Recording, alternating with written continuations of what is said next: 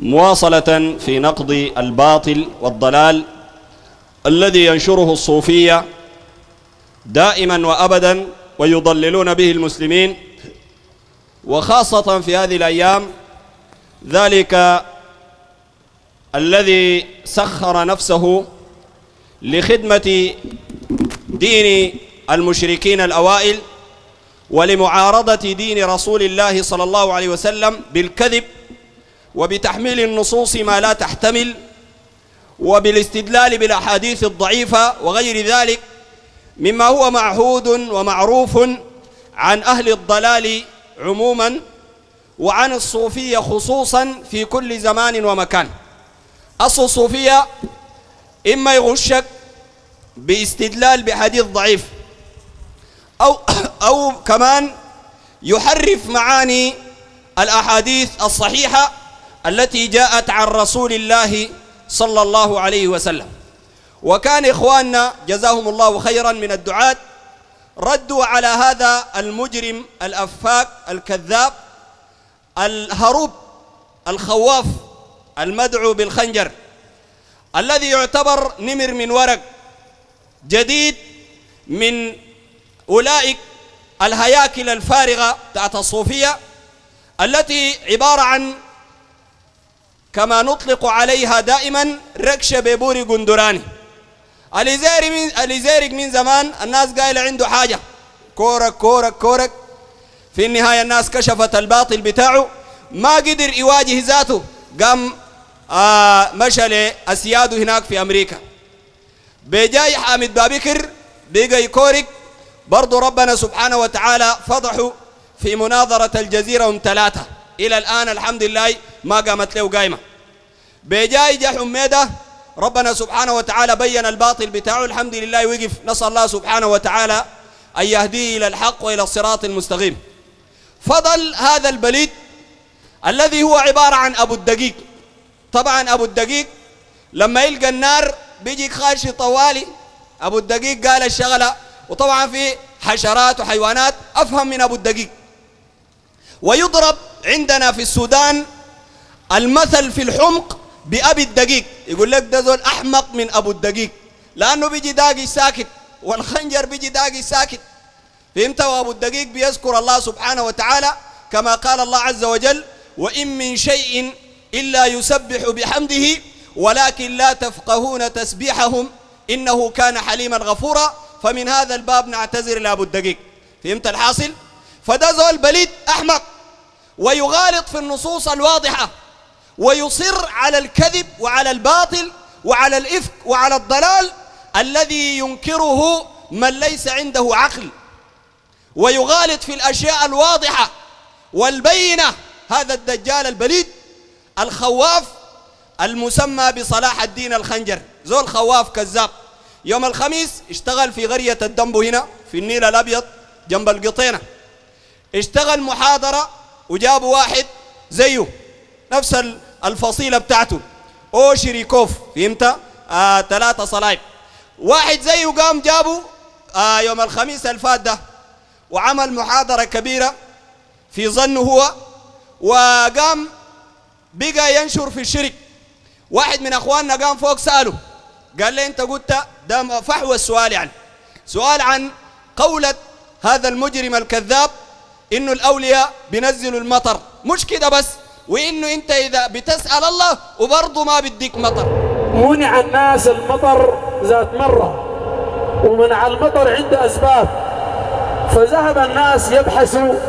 نحن في السودان مرات بنمشي للمشايخ بندفع القروش.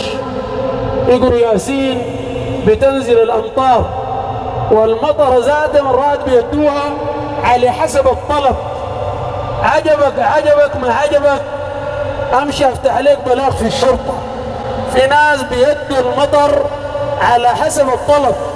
في ناس بيدوا المطر على حسب الطلب. حواشتين سوا. الكلام ده صح ولا ما صح يا شيخ حامد؟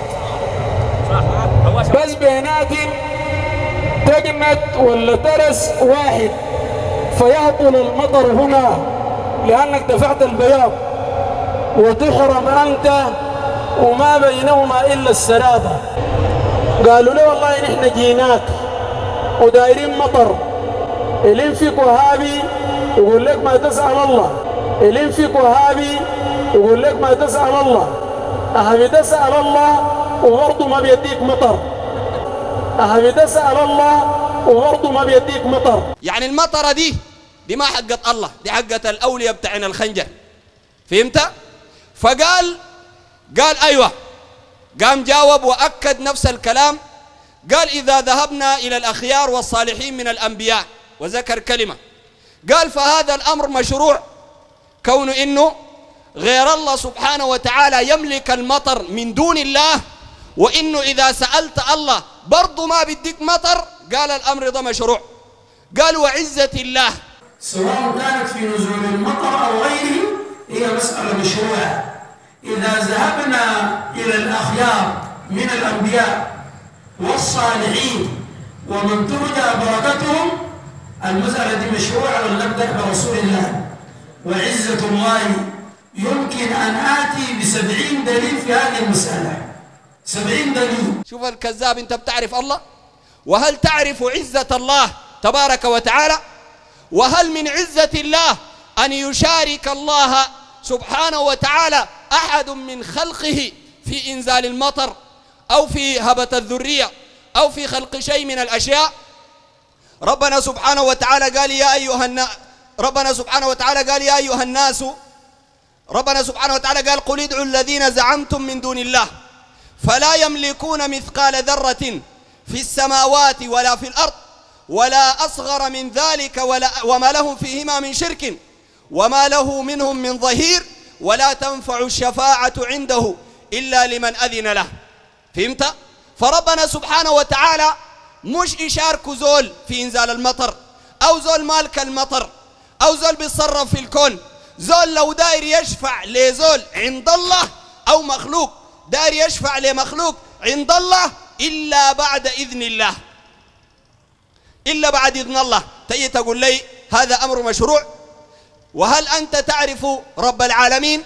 ربنا قال وما قدر الله حق قدره والأرض جميعا قبضته يوم القيامة والسماوات مطويات بيمينه سبحانه وتعالى عما يشركون. فقال وعزة الله يمكن أن آتي بسبعين دليل على هذه المسألة مسند إلى مظانها ومصادرها. شو هذا مصر قال عنده سبعين دليل إنه ربنا سبحانه وتعالى إذا سألته ما بديك مطر وإنه الأولياء بتاعنا الصوفية بدوك مطر. سبعين دليل على إنه الله ما بديك مطر. والبدوك المطر هم شيوخ الصوفية. سبعين دليل. شو الك... شو الكلام ده كيف؟ ده الصوفية ده المنهج الصوفي. ده مش بقى في إنه يمجد شيوخه ويساويهم بألله. بقى يرفع شيوخه وفي زعمه هو إنه دار ينزل ينزل من قدر رب العالمين. بالله شوف نحن حصلنا يا مرحلة. من هذه المراحل المتأخرة من شرك هؤلاء الدجاجلة الكذب الفجرة. ونحن لما نتكلم بنتكلم عن الطواغيت. ما بنقول الصوفية. ما بنقول الصوفية كفار. ولا بنقول الصوفية مشركين. ولكن نقول المنهج الصوفي منهج ملحد منهج شركي منهج كفري منهج ضلالي منهج مبتدع لا علاقة له مع الإسلام فهمت؟ لكن لما نقول محمد ود محمدين فلان ود علان ما بنقول هو مشرك في نفسه فهمت؟ أما الطواغيت الكبار بتاعنا الصوفية ده الموضوع تاني لكن نحن بنتكلم عن عموم الناس فهمت؟ طيب هنا قال شنو؟ قال عنده سبعين دليل على إنه ربنا سبحانه وتعالى ما بينزل المطر براه وإنما اللي بينزل المطر اولياء الصوفيه نشوف نموذجين بس من الأدلة اللي جابه هو. الدليل الأول قال أثر فتح كوى كوى في حجرة عائشة. ويروى هذا الحديث عن أوس رضي الله عنه إنه في عام المطر ما نزلت. فجاء لعائشة رضي الله عنها قامت عائشة قالت لهم أفتحوا أفتحوا لكم فتحة قوة يعني فتحة في حجرة عائشة التي يدفن فيها النبي عليه الصلاة والسلام حتى ينزل المطر. قالوا لما انفتحوا القوة دي قالوا نزل المطر وسمي بعام الفتق ده الدليل الأول من السبعين دليل حقات الصوف البليد الخواف الذي يهرب من المناظرة ومن المواجهة ومن الجدال ومن بيان الحق المدعو صلاح الدين البدوي الخنجر أستاذ التفسير بجامعة أم درمان الإسلامية كلية الطب. فهمت؟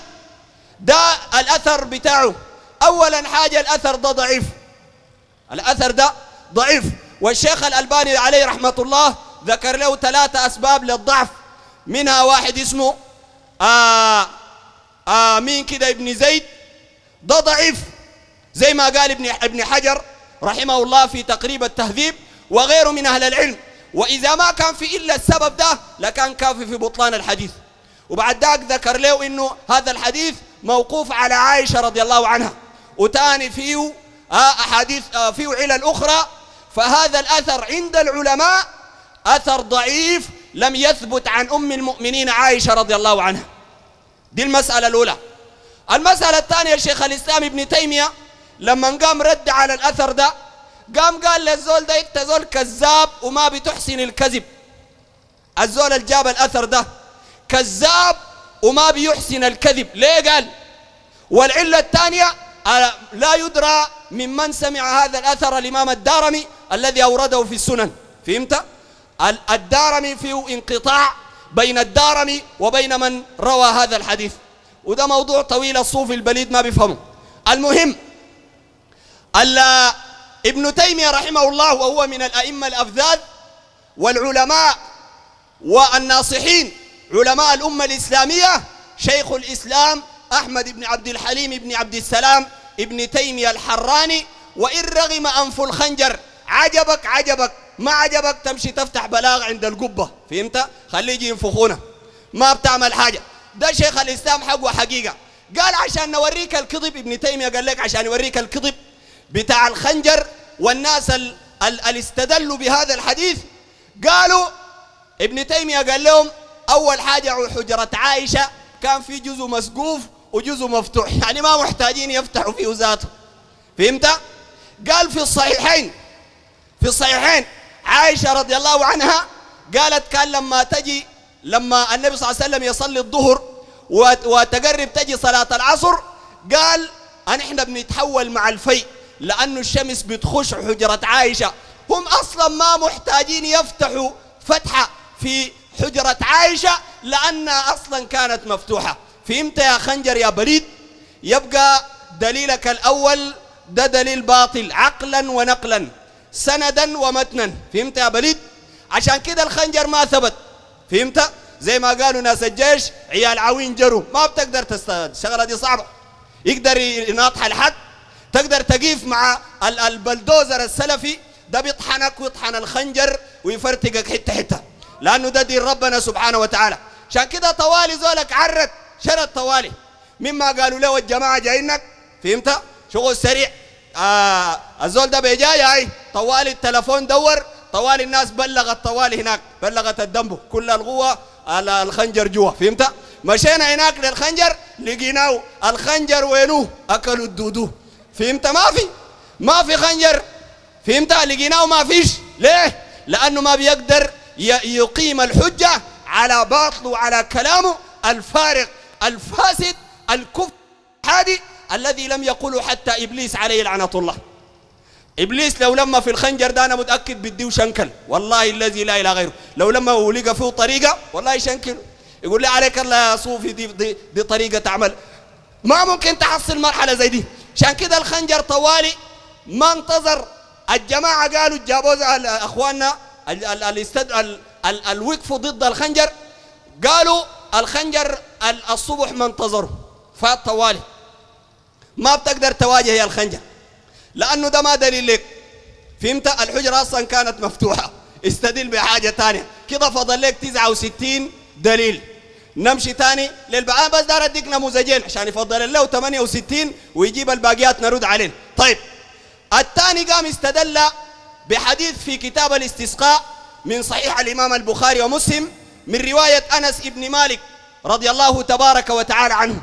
والحديث مشهور وقام جاب له رواية نحن دارين نرد عليه من الرواية جابه ذاته. فهمت؟ خلاصة الحديث إنه في أعرابي جل الرسول صلى الله عليه وسلم. قال للنبي صلى الله عليه وسلم هلكت الأموال وجاع العيال فادع لنا أو قال فاستسقي لنا. والاستسقاء هو الطلب لأنه دخول يا الخنجر دي اللغة العربية أفهم. دخول الألف والسين والتاء تدل على الطلب لأنه الفعل سقى. استسقى أي طلب السقيا. فهمت؟ فقال الرسول عليه الصلاة والسلام استسقي لنا. يعني يا رسول الله اسأل لنا الله أن ينزل علينا المطر. والاستسقاء عبادة معروفة موجودة في كل كتب الفقه. تصلي ركعتين ويخطب الإمام.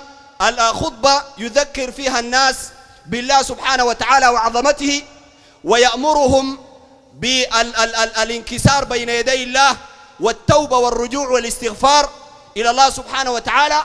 ويحول الإمام رداءه الأيمن إلى الأيسر والأيسر إلى الأيمن الأيمن ويقع ويقف خاشعا بين يدي الله سبحانه وتعالى ويدعو الإمام ويشرع أن يقدم الأعلم والأتقى والأصلح فينزل المطر.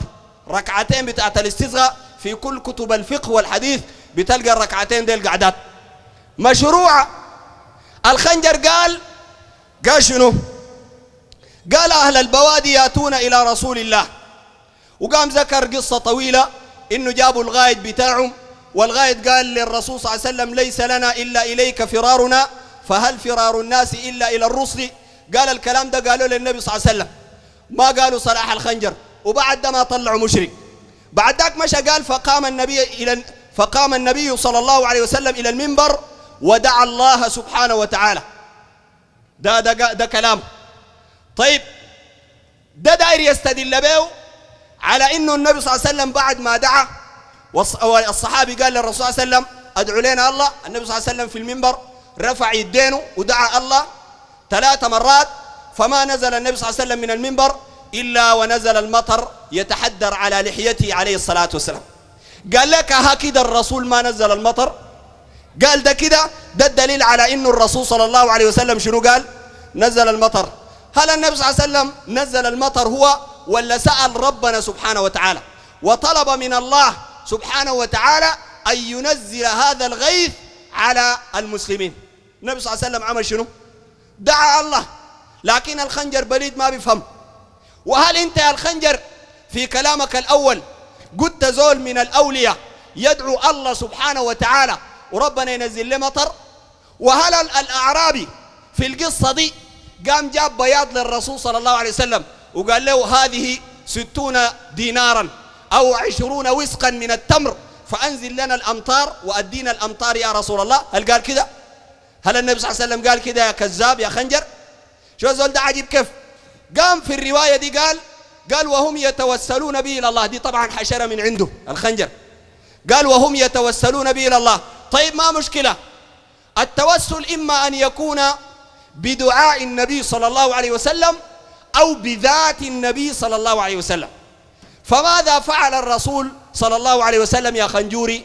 نشوف الرواية جبتها أنت ذاته. ها؟ يداك أوكتا وفوك نفخ. تعرف المثل ده قصته شنو؟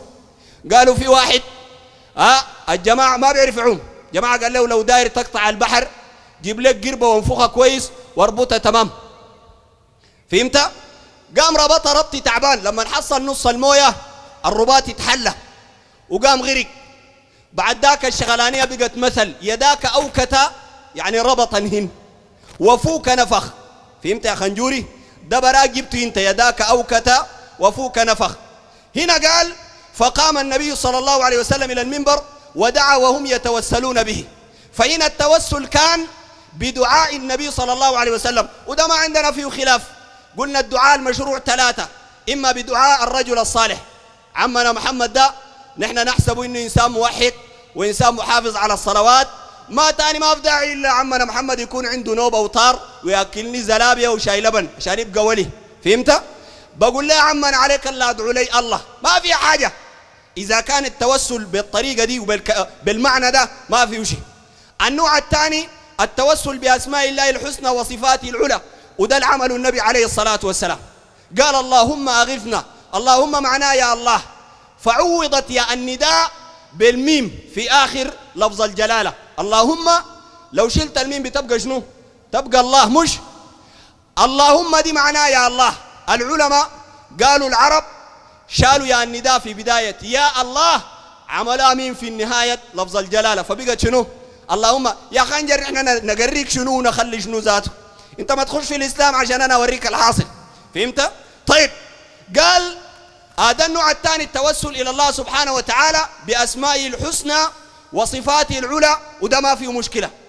النوع الثالث وهو التوسل إلى الله سبحانه وتعالى بالأعمال الصالحة.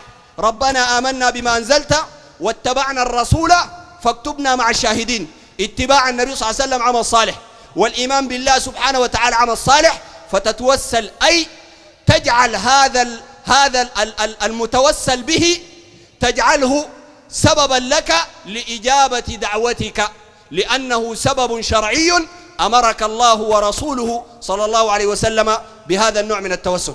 فكونه توسل بالنبي صلى الله عليه وسلم الكلام جبته نشوف توسل كيف. قال اللهم اللهم أغثنا غيثا مغيثا فنزل المطر. اللهم أغثنا غيثا مغيثا قال فنزل المطر. أهذا فوق إنه زي ما قلت أنت يا خنجوري. قال أن إحنا في السودان بعد مرات بنمشي للشيوخ وبندفع بياض. قال حواشتين سوا بيناتهم تقنت ولا ترس؟ كويس. قال فيهطل المطر هنا ولا يهطل هنا. قال لأن هذا دفع البياض. هل ده؟ هل ده؟ الكلام اللي قلته ده علاقته شنو؟ باستسقاء هذا الرجل الأعرابي بالنبي عليه الصلاة والسلام. كده من السبعين في دليلين استدلالك بهم واحد ضعيف واحد حديث صحيح لكن استدلالك به باطل. فهمت؟ فده زول كذاب وزول مفتري وهذه عقيدة الصوفية. وما بناقشه ونحن جاهزين والليلة جايبين؟ ها؟ جايبين جريدة الوطن دارين يعملوا لف ودوران بالشغلة دي فهمت؟ ودارين يلبسوا على المسلمين. شوف نحن جاهزين لك بقيت جريدة بقيت جماعة من الجماعات بقيت إذاعة من الإذاعات بقيت قناة من القنوات بقيت أي حاجة. داير معانا مناظرة في التوحيد والعقيدة. والله نحن جاهزين. جاهزين في أي زمان وأي مكان إن شاء الله. فهمت؟ بس أنت تثبت كيف؟ تثبت كيف؟ حامد بابكر ها مشى الجنينة هناك. ما عنده أي دليل. لما أخواننا واحد صوفي قام عزموا فطور بالصباحية. أخواننا طوالي مشوا هناك ما عنده حجة. شغلوا له المناظرة مع الشيخ مزمل فيهم ثلاثة. قام حرد العصيدة والله جد حامد بابكر قال ده شنو ده؟ وجدع العصيدة. أخواننا قال له تجدع العصيدة مش ركبوا لك فوق الصحن. فهمت الحاصل؟ والشغلة جاطت وعمك جرى وقف هناك. ثاني يوم طوالي فرتك. فهمت؟ وأصل أهل الباطل وأهل الضلال حجة ما عندهم. فهمت حجة ما عندك؟ ولو عندك حجة تعال. بقيت أي فهم في راسك إن شاء الله داير أدلة داير آيات داير حديث نحن معاك إن شاء الله. وتقام الحجة ليس لأنه نحن عندنا حجة قاطعة وكده ولكن لصحة هذا المنهج السلفي الذي نتحدى به الكرة الأرضية ونعلنها من هنا ومن غير هنا. كل المناهج الموجودة الآن واليوم على ظهر الأرض غير المنهج السلفي بتوديك نار جهنم. والموضوع ده نحن مسؤولين منه وبنناظر به أي بني آدم. ودونا أي محل. لا هاي شنغا هاي بيكين. فهمت محل بيسووا العربات التايوتا كله بنناظروا له. فهمت؟ أي منهج غير المنهج السلفي الآن موجود؟ اخترعوا الليلة ولا كان عنده عشرين سنة ولا حيجي بعد كم؟ غير المنهج السلفي ده بوديك جهنم. لكن أنا كفلان ابن علان بنتسب للمنهج السلفي خاشي الجنة ولا النار؟ المنهج السلفي قال لي أنت ما عارف. يعني أنا ما بقول للناس أنا في الجنة وداك في النار. لا لا لا. أنا بتكلم عن المنهج الدين. على نحن بنعتقده؟ ده حق أما أنا أكون في الجنة والنار بسأل الله إنه يرحمنا جميعا ويدخلنا الجنة. ما بقول أنا في الجنة أو فلان في النار. لكن بقول منهجي ده بوديك الجنة. والمنهج الفلاني بوديك النار لأنه منهجنا ده هو الكتاب والسنة على فهم أصحاب رسول الله صلى الله عليه وسلم. وقد قال النبي صلى الله عليه وسلم تركت فيكم ما إن تمسكتم بهما لن تضلوا بعد أبدا كتاب الله وسنتي.